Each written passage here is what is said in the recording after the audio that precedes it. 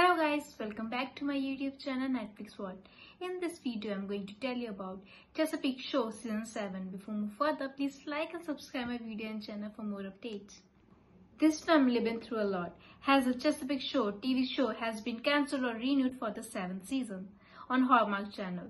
Airing on Hallmark Channel television network, the Chesapeake Shores TV series stars Robert, Meghan, Treat, Leslie, Emilie, and Braden and Andrew. The story explored the lives of the O'Brien family after the homecoming of eldest daughter Abby O'Brien, a high-powered career woman and divorced mother of two.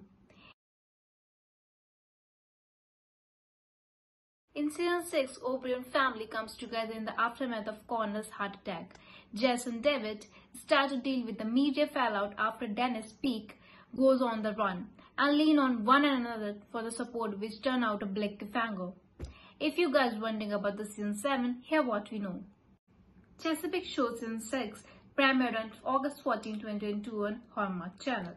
The sixth season of Chesapeake Shores averaged a 0.13 rating in the 18 to 49 demographic and 1.47 million viewers in the live plus same days rating.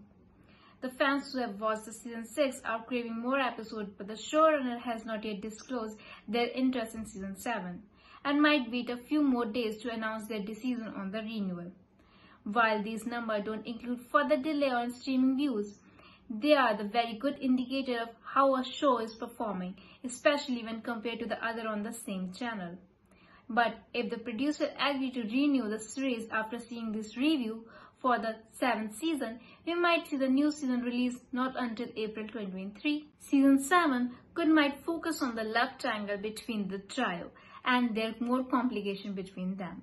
Let me know what you think about the series renewal in the comment box.